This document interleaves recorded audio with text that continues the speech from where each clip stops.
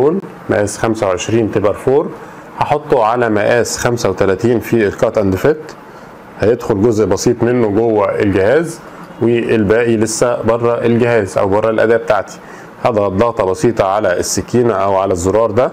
فال cone اتعمل له جيجنج واتقاس على ال tip size بتاعت 35 taper 4 نرجع تاني ناخد ال work length اللي إحنا حددناه اللي هو 21 ونص ملي ونعمل التانية أو العلامة بتاعتنا اللي بتقول إن ده الطول بتاعي ونجرب تاني ندخله في البلوك الشفاف.